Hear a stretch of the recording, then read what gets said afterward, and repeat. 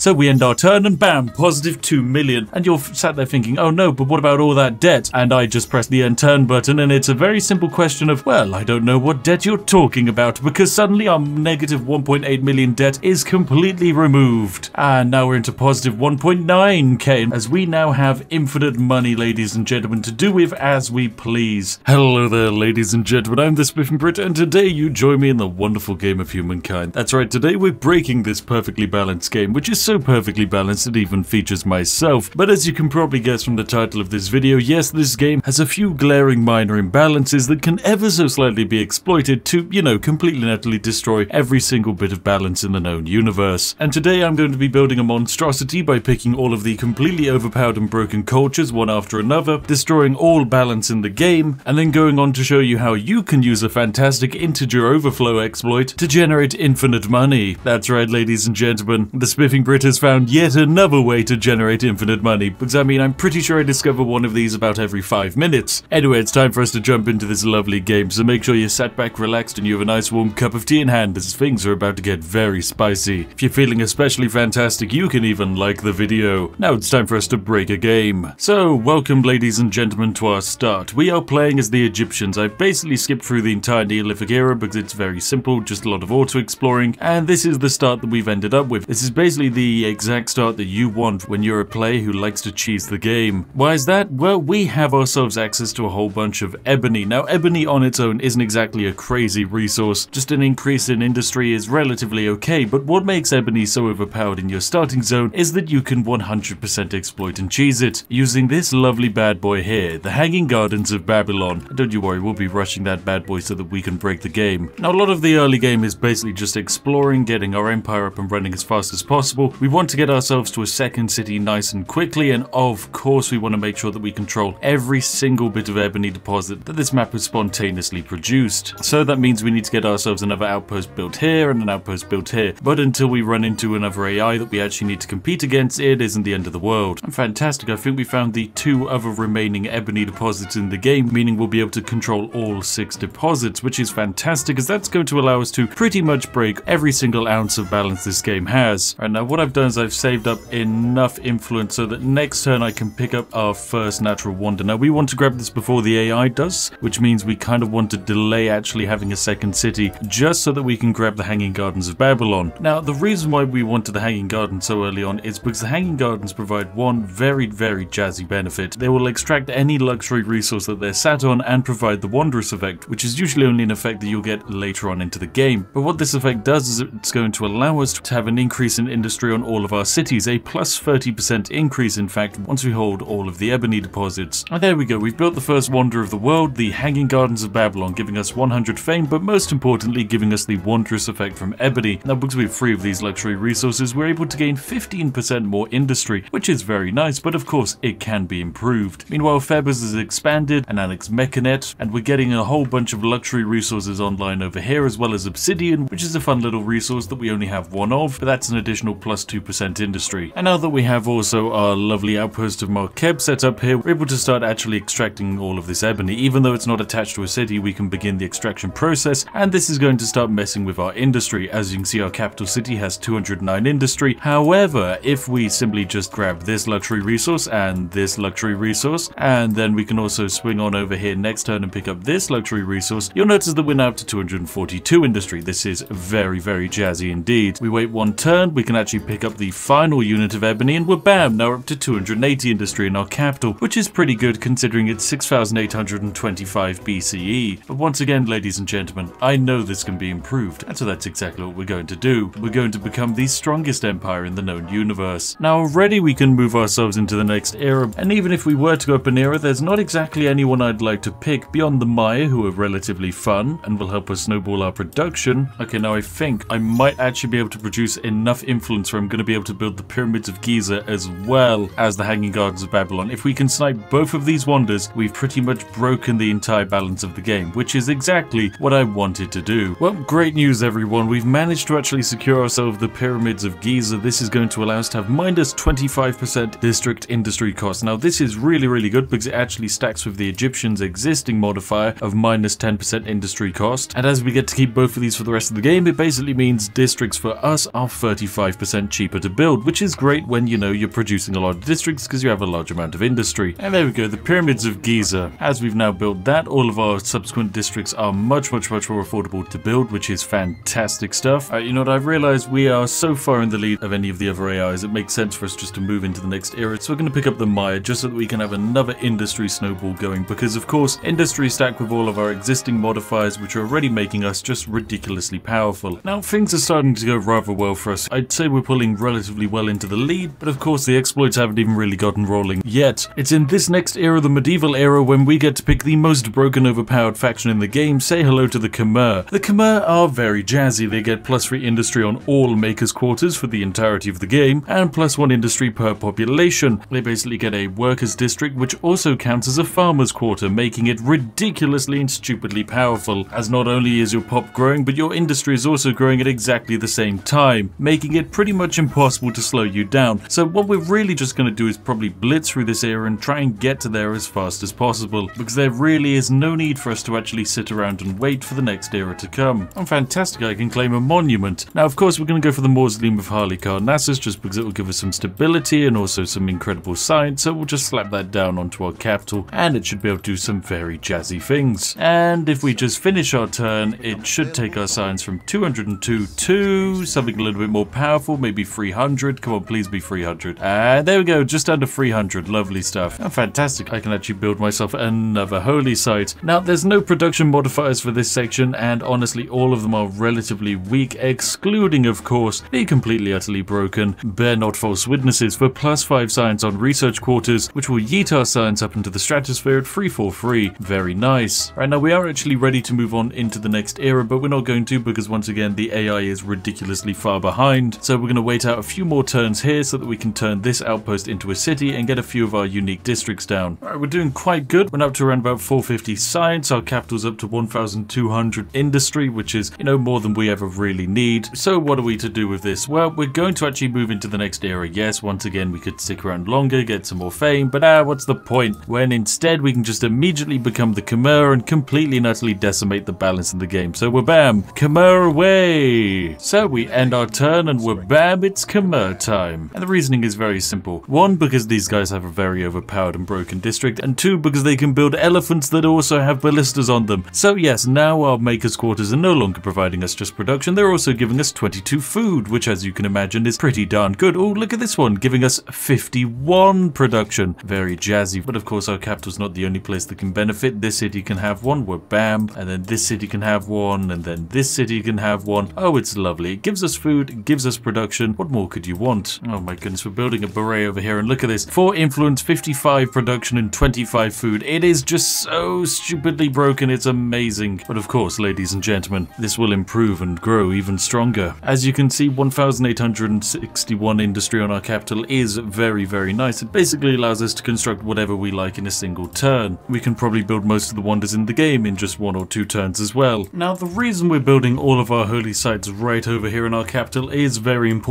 We are aiming to pick up the lovely Angkor Wat, a very, very broken wonder in the game because it provides food based on the faith output of a city. The more faith you produce, the more food you gain. Equally, you can pick up the Notre Dame as well, which gives you faith based on technologies researched. And seeing as I think there's around about 100 technologies in the game, as you can imagine, that's a nice amount of faith produced. And there we go, a brand new wonder can be claimed. We're bam, we're to pick up ourselves the Angkor Wat. Drop this bad boy down in our capital and watch all of our food problems melt away. And there we go, Angkor Wat it's built. It's generating us 148 food, which is relatively nice. That brings up our total food output to 221, but of course the more holy sites we get and the more powerful those holy sites are, the more food we generate. And of course we can do this festival basically every 5 turns, which allows us to add plus 5 faith to all of our holy sites. And well, as we have 4 holy sites in our capital, you know exactly what that means. That's an additional 20 food. So why do this boring public ceremony when you get 5 food and instead you can have a holy day and get 20 food? Now that's metagaming. Alright, we're now up to 1000 science per turn, which basically means we've finished off the entirety of the medieval era tech tree, and we should probably be leaving it relatively soon. Honestly, I love the production in our capital has gotten to the point where it's so strong we can finish four things in one turn. It's just ridiculous. Honestly, our capital has become this nightmare city of production, and it's glorious. There's just no stopping us now. And fantastic, we can claim a new wonder. We're going to pick up the Notre Dame just for its incredible faith output, and slam it right on down our capital. And there we go, Notre Dame is being constructed. This is fantastic news for us. As you can see, it's resulted in this glorious monstrosity of an Angkor Wat, which is producing 311 food. This now means that we can probably move money above food, and what's going to happen here is that the city will keep growing despite the fact that farmers are now the least important job here. And okay, fine, I guess I do have to move into the next era, so it's time for us to become the Mughals. Yet another completely, utterly broken production sieve. And there we go, Mughals completed. And the main reason we want to be them is because, of course, they have elephants with cannons, and elephants with cannons are good fun. The tech tree for the early modern era isn't exactly anything too jazzy, so we'll just be able to blitz it in a few turns, nothing too complicated, but most importantly, we're here to build Jama Masjid, which is basically plus free industry per workers, plus free industry per adjacent makers quarters, and uh, this basically combines into some ridiculous things like this location here, which provides us with plus 136 production. Very, very jazzy, and this plus 132, and this plus 130, and this plus 126. Oh dear, oh dear, oh dear. It does appear that this is going to start breaking the game, isn't it? Now, after just building a few more of these amazing Jama Masjid, you'll notice that our production is basically up to now nearly 5,000. This is, of course, a remarkable improvement, and now it's over 5,000. Honestly, the game's just balked at this point, okay? There's just nothing we can do to be stopped. And you know, we've got so much influence lying around, we can actually get ourselves another wonder. We're going to pick up St. Basil's Cathedral because it gives us plus one faith per district. Now, of course, this is very, very powerful on our capital. Of course, it only takes us one turn to build because it's a wonder, you know? It's meant to take a long time, but we have so much surplus production lying around, one turn will do. So bam, we just pop that bad boy down, and there we go. We've built ourselves St. Basil's Cathedral, giving us 300 additional faith because of all of the amazing districts we have. This basically translates to the Angkor Wat now producing 650 food, which is more than we'll ever need. We basically don't need farmers anymore. Farmers are completely useless.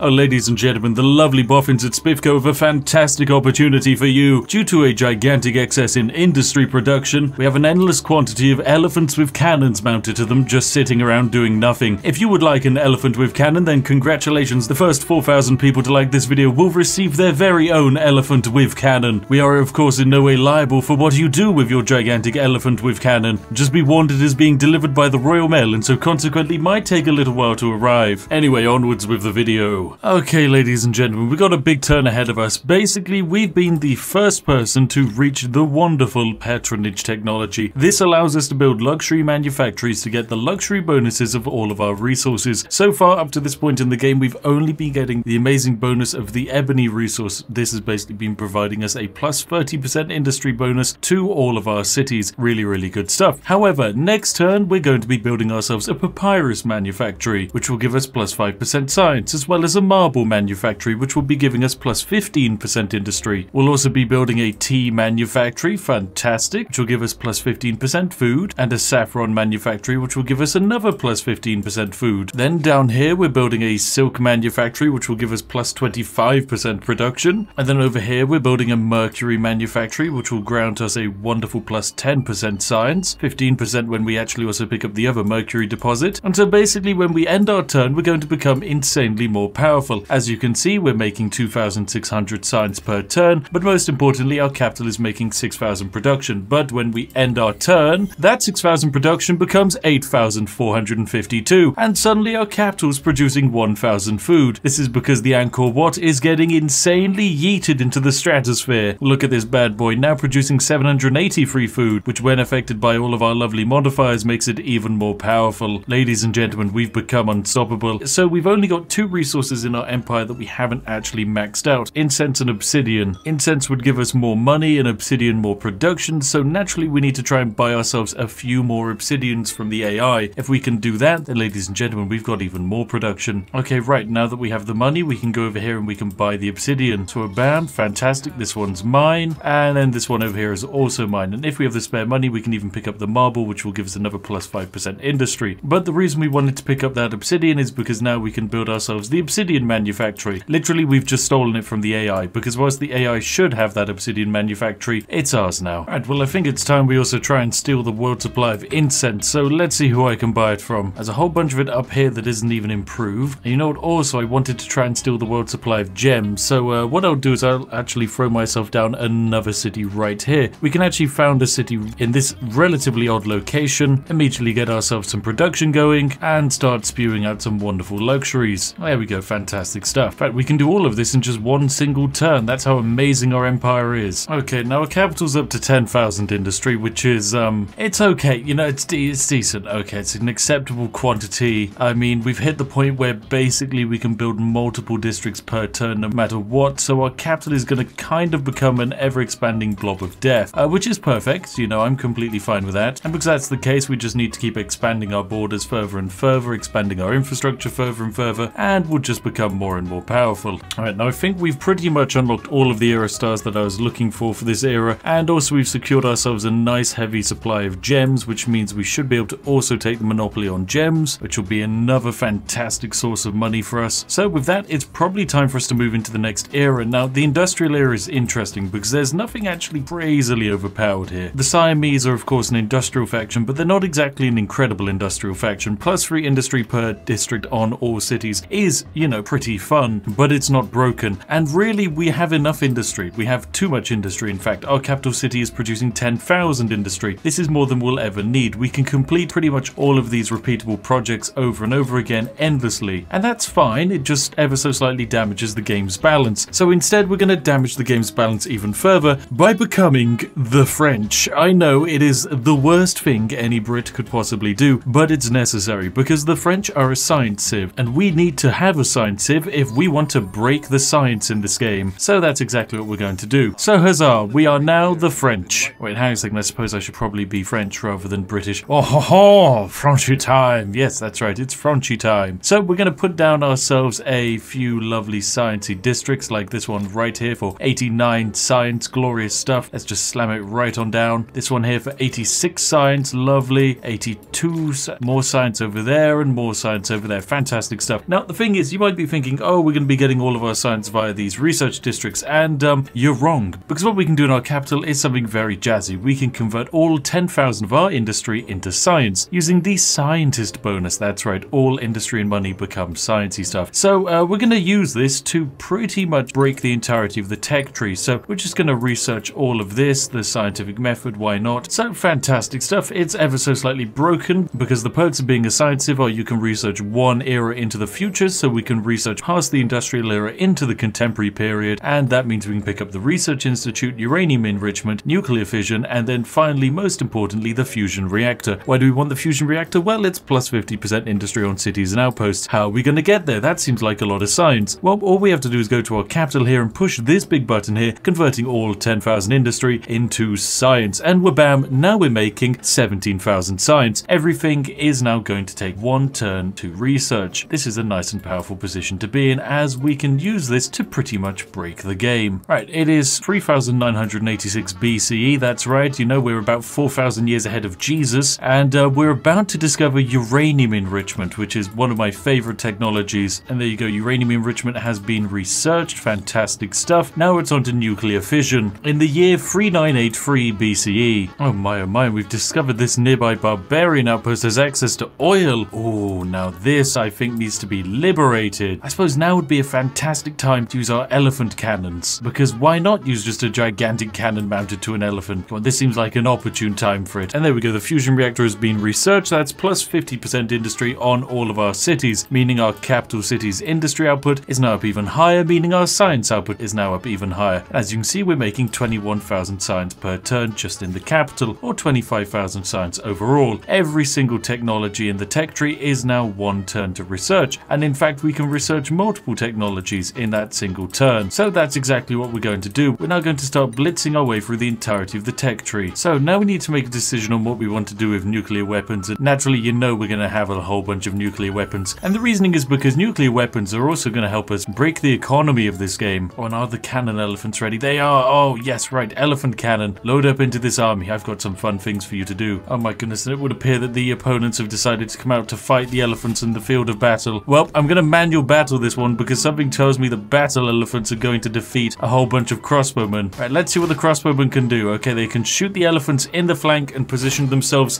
downhill of an elephant with a cannon. Um, well, elephant with cannon chooses to one-hit crossbowman. Other elephant with cannon chooses to one-hit crossbowman. And final elephant with cannon chooses to one-hit crossbowman. Elephants seem to be nice and powerful. oh, I love battle elephants. They're just so much fun. Okay, a few turns later, it is 899 BCE, and I've just converted all of the industry of my capital into science, which has now yeeted our science right up to the rather modest 50,000, uh, which is enough to research every single thing in the game in one turn. And yes, I mean, this late game technology here is 46,000 science, meaning yes, we can research it in one turn. We are just that unstoppable, and we're still in the industrial era, and yet we're somehow able to research all of this. So what happens is I end my turn, and then I'm pretty sure we pick up multiple technologies in one turn. So there we go. There's the combustion engine. There's urban planning. So yeah, we can do two techs per turn. Very nice stuff indeed. We're trying to make our way over to aluminium so that I can actually start extracting it out of the ground. Because as soon as we can start doing that, then I can start getting nuclear bombs going. And when we get nuclear bombs going, well, that's when we actually generate infinite money. And yes, we're just blitzing our way through the technology tree and whabam, aluminium has been researched. Now, where are you located, my lovely, sweet, sweet aluminium? We have some aluminium. Oh my goodness. Oh, we're fortunate. Fantastic. Mine it out of the ground. You might be wondering, why do we need aluminium? Well, we need it because we can build nuclear bombs with it. That's right. We're going to be doing a fusion test now. Where are we going to do this fusion test? Well, somewhere where we can choose to just destroy all of the land around it. Where do we have a nice little bit of sacrificial area? I suppose right over here next to Lake Baikal, which is actually a beautiful natural wonder in this planet. But of course, we're going to do a fusion bomb test next to it. Because why wouldn't you? What's the point of all of these explosions if we can't even test them? Ah, this is it, ladies and gentlemen. We get to do our nuclear fusion test now, so we're bam, we just end our turn, and ah yes, all of the terrain has melted away. Fantastic, we've created a horrific wasteland. Now all we need to do is build an ICBM, but in order to do that, we need oil. Luckily for us, we have oil right here. We just need to mine it up out of the ground. Now I guess we also need even more uranium, but luckily I think we also have more deposits of uranium. So let me get that out of the ground, and now can we build our, yes we can, we can build an ICBM. Fantastic. Right, well we're now ready to do our nuclear fusion test, so um, in order to do this, we actually need to start buying up these territories, so uh, that's exactly what we're going to do. We'll have to attach this territory, this territory, and this territory, and uh, then we'll do a great big old nuclear detonation right here in the middle. It's a full-blown ICBM this time, so naturally it's nice and powerful. We'll just rush it to the front of everyone's production queues and see if we can get it done nice and quickly. There we go, next turn we'll blow up this entire region of land. Fantastic. And there we go, all of this land is now ruined after our glorious nuclear weapons test. So there we go, we'll just stop the lovely scientific rush in our capital here, build ourselves a missile silo, and it's time for us to actually try and bankrupt our economy. So there we have it, we now have our nuclear missile silo. Now all we need to do is actually build ourselves a nuclear bomb. You know, we might as well move into the next era. Now sure we could go as the Turks and abuse the overpowered public school, or the Swedes and abuse the really powerful research institute, but instead we're going to go for something really, really dumb and stupid. We're going to go for the stupidly overpowered Soviets because they get increased combat strength on all of their units and also the arms factory basically allows them to turn all of their units into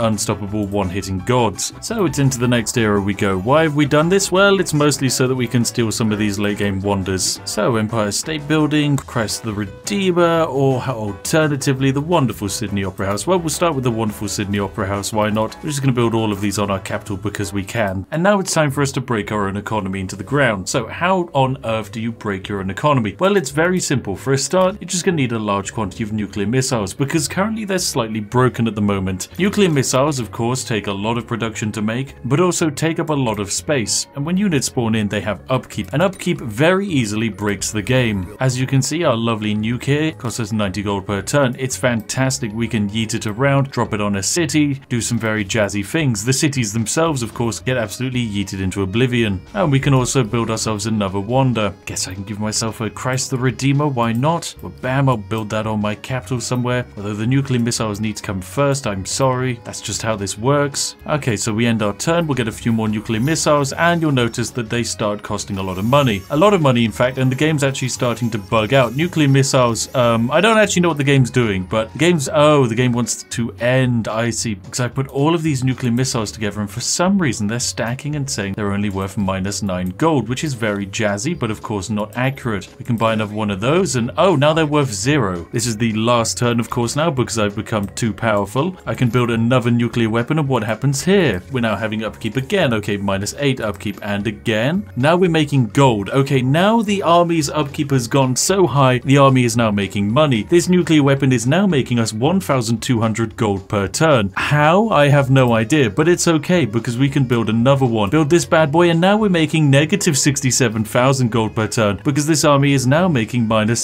79,000. But of course, if I disband this bad boy, we're making profit again. Profit from an army. How on earth this happens, nobody knows. But basically, we're flipping the game's integers over and on top of each other, and that's resulting in us making a copiously large amount of money that completely and utterly breaks the game. Anyway, time for us to set all of our cities on Christ the Redeemer, and then end this game. Right, bam. End game. Fantastic, ladies and gentlemen. Oh, look at all of these amazing achievements we're getting. I did such a splendid job, didn't I? Well, there you have it, ladies and gentlemen. We did a fantastic job. We built all of these amazing nuclear bombs, and well, who's saying we have to stop there? We can just balk this game even more with even more nuclear missiles, and that's exactly what we're going to do. And now we have 10 nuclear weapons. We're in a fantastic position to start breaking the economy of the game even further. So I'll just buy another one of those, and we're bam. This bad boy's making minus 8. Wait a turn, and now we're making money off of this nuclear weapon as well. Oh, and now this is looking good. With all of these nuclear missiles lying around, you'll start noticing we're making negative 79,000. This is fantastic. We buy another one, and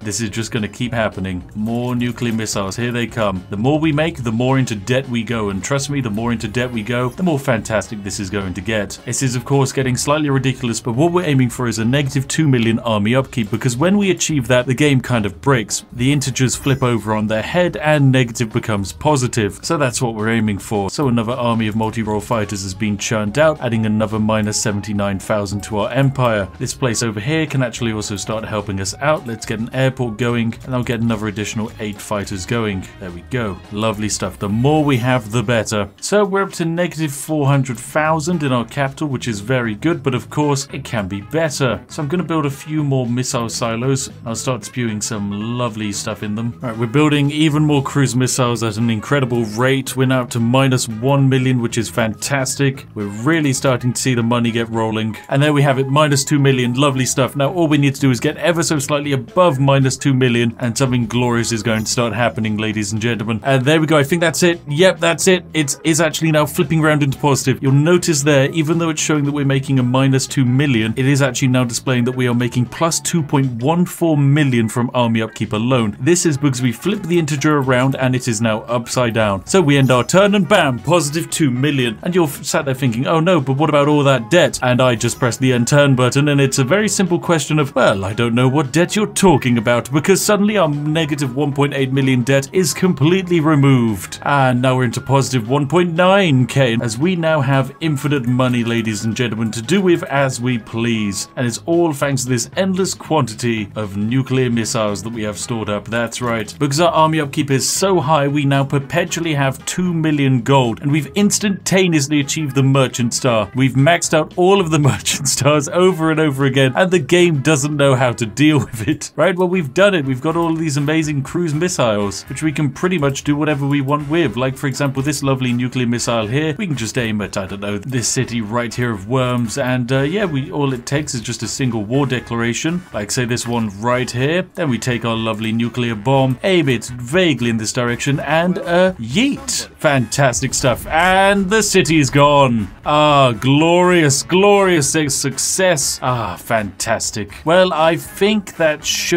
generally make them a little bit upset. And um, I would also say that we've done a pretty decent job of wiping out their entire civilization. And of course, we're now perpetually locked at plus 2 million army upkeep no matter what we do. It's fantastic. It's amazing. We can spend all of these units and launch all of these nuclear missiles. Anything can be hit, including these random AIs, because why not? So bam, it's time for another glorious nuclear missile launch. And away it goes, ladies and gentlemen. Goodbye, random independent peoples. Lovely stuff. Oh, it's fantastic. Oh, it's perfectly balanced. So there you have it, ladies and gentlemen. Today we have proven that humankind is completely and utterly broken. Everything in it is broken, and it is gloriously good fun. If you enjoyed today's video, then make sure to give it a like, and why not hop on down to the comment section and pledge your undying support to the Soviets, because of course if you don't, a nuclear bomb will be flying towards you in just a few moments time. You have 5 seconds to subscribe, or you will of course spontaneously die. Anyway, there you have it ladies and gentlemen, thank you very much for watching. As always, a massive thank you to each and every one of our amazing patrons who make these videos all the more possible. Seriously, thank you very much you lovely sausages. And hey, if you're sat there wondering what video you'd like to watch next, look no further than this one on screen now, hand chosen by myself to be absolutely perfect for you. Anyway, I'll see each and every one of you in the next one. Have a lovely day, and goodbye for now.